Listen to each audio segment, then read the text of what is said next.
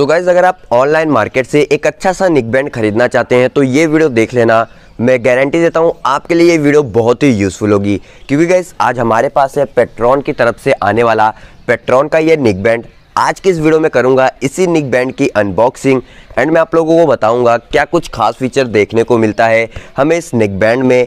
And आपको ये लेना चाहिए या नहीं लेना चाहिए, सब कुछ जानने को मिलेगा इस छोटे से वीडियो में। तो चलिए इस कमाल की वीडियो को शुरू करते हैं। ओके सो गाइज़ ये रहा निकबैंड का बॉक्स यहाँ पे आप लोग देख सकते हैं पेट्रोन कंपनी की ब्रांडिंग की गई है। एंड इसका जो नाम है वो काफ़ी बड़ा है guys in twins elite stereo sound wireless neckband इस निक बैंड का नाम ये काफ़ी लंबा चौड़ा नाम दिया है कंपनी वालों ने। एंड पीछे की साइड गाइज़ यहाँ पे हमें कुछ फीचर्स देखने को मिल जाते हैं। मैं वीडियो में आगे आप लोगों को बताऊँगा इस निक बैंड के सारे फीचर्स के बारे में। सबसे पहले चलिए इसे अनबॉक्स करते हैं। सो गाइस बॉक्स ओपन करते ही अंदर हमें एक ब्लैक कलर का और बॉक्स देखने को मिलता है। इसे बाहर की तरफ़ निकालते हैं। एंड यहाँ पे हमें अपना पेट्रॉन का निक बैंड देखने को मिल जाता है। इसे बाहर की तरफ़ निकाल लेते हैं। एंड इसी के साथ गाइज़ हमें बॉक्स के अंदर कुछ एक्सेसरीज देखने को मिल जाते हैं। यहाँ पे हमें एक यूएसबी केबल देखने को मिल जाता है। इसी के साथ यहाँ पे हमें कुछ कार्ड देखने को मिल जाते हैं, जो कि एक यूज़र गाइड है, जिसे हम यूज़र मैनुअल भी कहते हैं। एंड इसी के साथ यहाँ पे हमें एक थैंक यू कार्ड भी देखने को मिलता है। बात करें यहाँ पे अपने निक बैंड के बारे में तो सबसे पहले इसे बाहर की तरफ़ निकाल लेते हैं। सो यहाँ से ये कुछ इस तरह से बाहर निकल जाएगा। एंड गाइज़ आप लोग देख सकते हैं, काफ़ी अच्छा हमें निक बैंड देखने को मिल जाता है। और इसी के साथ जो स्निक बैंड में हमें बिल्ड क्वालिटी देखने को मिलती है, वो काफ़ी अच्छा बिल्ड क्वालिटी हमें यहाँ पे देखने को मिल जा रहा है। यहीं पे स्निक बैंड में जो हमें डिज़ाइन देखने को मिलता है, वो काफ़ी शानदार डिज़ाइन किया गया है, काफ़ी अच्छा लुक देखने को मिलता है स्निक बैंड में। एंड इसी के साथ बात कर इसके बैंड के क्वालिटी के बारे में गाइज़ तो इसकी जो बैंड की क्वालिटी है, वो काफ़ी अच्छा मटेरियल यूज़ किया गया है। काफ़ी अच्छे क्वालिटी का हमें बैंड यहाँ पे देखने को मिल जा रहा है। एंड इसे हम मोड़ भी सकते हैं तो गाइज़ इससे आपको पता चल जाएगा कि इसकी बैंड की क्वालिटी कैसी है। एंड इसी के साथ गाइज़ यहाँ पे हमें कुछ कंट्रोल्स देखने को मिल जाते हैं। आपको बताने की ज़रूरत नहीं है कि इन कंट्रोल का क्या यूज़ है।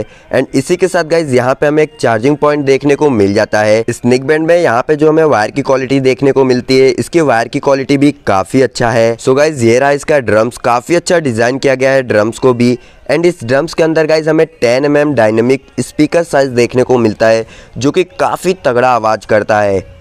सो गाइज़ अब बात करते हैं स्निक बैंड के कुछ एडिशनल फीचर्स के बारे में। तो आप लोग ये ड्रम्स देख रहे हैं। इस ड्रम्स के अंदर मैग्नेट यूज़ किया गया है। बट यहाँ पे जो मैग्नेट यूज़ किया गया है, वो काफ़ी वीक मैग्नेट यूज़ किया गया है। यहाँ पे अगर थोड़ा स्ट्रॉन्ग मैग्नेट यूज़ करते तो इसकी साउंड क्वालिटी और भी ज़्यादा अच्छी होती। एंड इसी के साथ बात करें इसके रेंज के बारे में।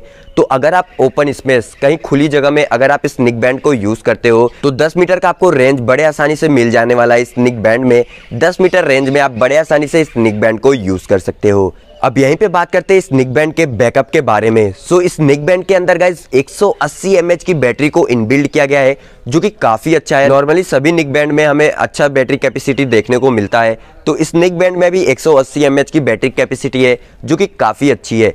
एंड गाइज़ यहाँ पे जो इसका बैकअप है, अगर आप इसे दो घंटे चार्ज करते हो इसका जो चार्जिंग टाइम है वो है दो घंटे। अगर आप इसे दो घंटे चार्ज कर देते हो तो आपको ये आठ से नौ घंटे का बैकअप बड़े आसानी से दे देने वाला है। अब यहाँ पे बात करते हैं सबसे मेन इंपॉर्टेंट टॉपिक की कि इसकी साउंड क्वालिटी हमें कैसी देखने को मिलती है स्निक बैंड में। तो चलिए मैं आपके सामने टेस्ट करता हूँ इसकी साउंड क्वालिटी एंड मैं आप लोगों को बताता हूँ कि स्निक बैंड के अंदर हमें कैसी साउंड क्वालिटी देखने को मिलती है।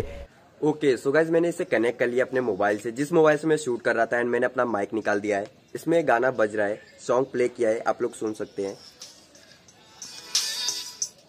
सो गाइज़ अब बात करते हैं साउंड क्वालिटी के बारे में तो चलिए टेस्ट करते हैं इसकी साउंड क्वालिटी एंड मैं आपको बताता हूँ कि इसके अंदर हमें साउंड क्वालिटी कैसा देखने को मिलता है।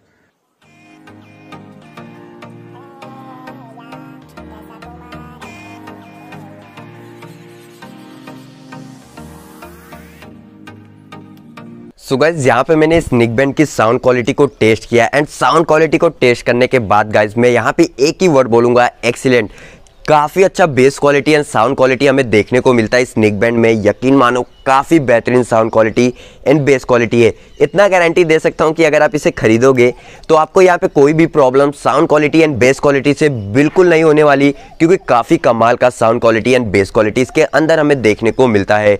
उम्मीद करता हूँ आपको छोटी सी वीडियो पसंद आई होगी। और हाँ अगर आप इसे खरीदना चाहते हो तो डिस्क्रिप्शन में मैंने लिंक प्रोवाइड कर दिया है स्निक बैंड का। वहाँ से आप बड़े आसानी से स्निक बैंड को खरीद सकते हो। उम्मीद करता हूँ आपको एक छोटी सी वीडियो पसंद आई। पसंद आई तो प्लीज़ इस वीडियो को लाइक कर देना। चैनल को सब्सक्राइब करना मत भूलिएगा। मैं आप लोगों से मिलता हूँ नेक्स्ट वीडियो में। इस वीडियो में इतना ही।